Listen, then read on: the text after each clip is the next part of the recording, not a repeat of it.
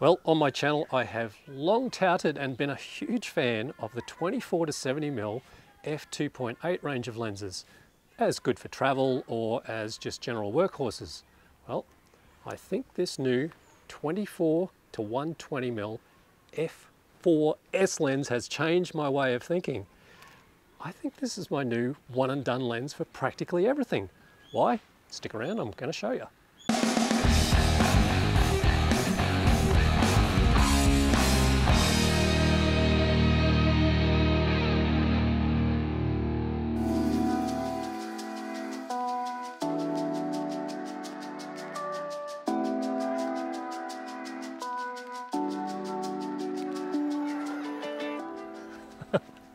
It just be raining Z lenses on my channel at the moment. First it was the 14 to 30 and then it was the 35 millimeter and now it's this one, the 24 to 120 f4S lens. This is the second Z lens that I was telling you about in some of the previous videos that I'm going to be using for hiking and landscape photography.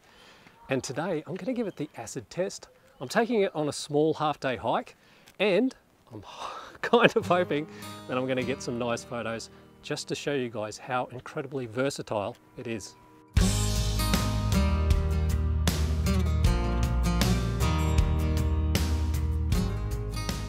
I first noticed this lens during the Nikon Z9 launch.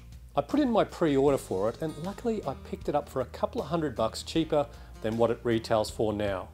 It weighs 630 grams, making it one of the lightest in its class across all brands has a 77mm filter thread and an aperture range of f4 to 22. Let's talk about the lens build and what you get. The lens itself is pretty much what you expect from Nikon's S-line range of lenses.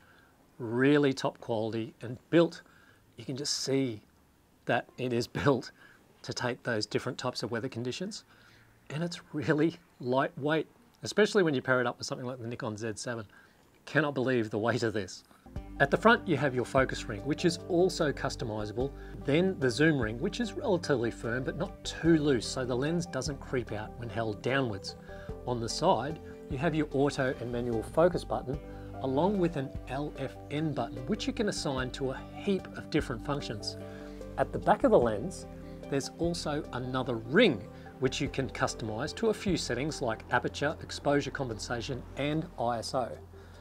For me, when doing landscapes, I've assigned the rear ring to exposure compensation and the LFN button to zoom in and out so I can double check the subject I'm focused on quickly and make sure it's accurate.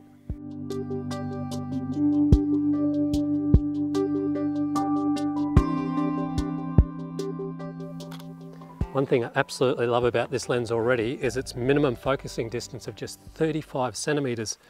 Now, when I'm out hiking and I'm doing landscape photography, one of the things I really love to do is just stop and look at those small things that catch my eye. And with this lens, it allows me to capture those really fine details in nature. When combined with the 45 megapixel Z7, it allows me to crop in past that 120 millimeter focal length to give me macro-like shots.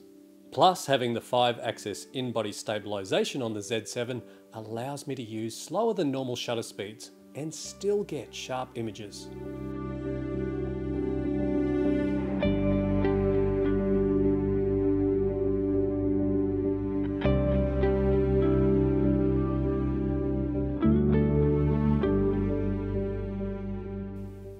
Having that constant f4 aperture right through the focal range is invaluable as you can zoom in and out with your framing and you don't have to change any settings on your camera.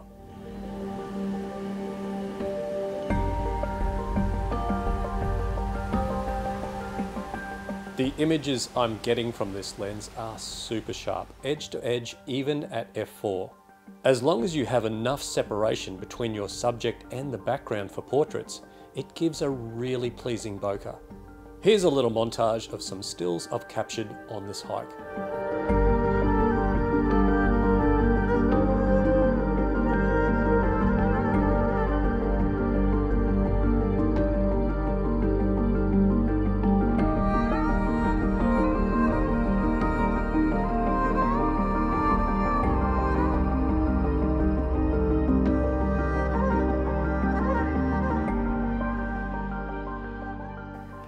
Now one thing I should mention very quickly is that this lens doesn't have any sort of image stabilization built into it. Instead, it relies on the five axis in-body image stabilization on the Z7. But I was just sitting here and one thing I have worked out very quickly is that this lens is absolutely awesome. For video, it is dead silent and the pictures I'm getting out of it from 4K and then when I switch it over into the HD slow-mo clips on the Z7, it turns into something like a 36 to 180 mm lens and it's just beautiful.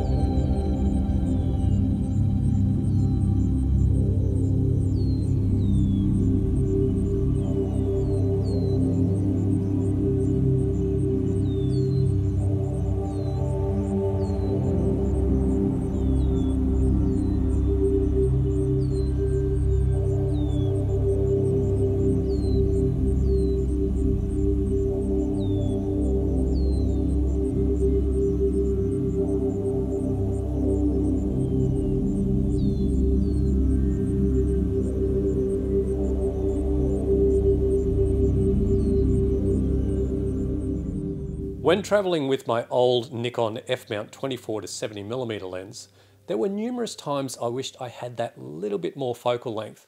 Having that extra 50mm with the 24 to 120 now gives me enough to isolate subjects or capture mountaintops in the distance.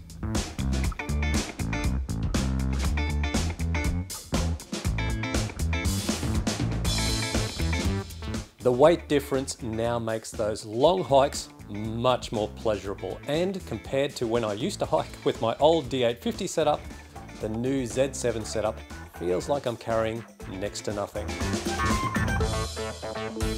So for landscape, food, macro, travel, video, portrait, this lens can do it all and I absolutely love it.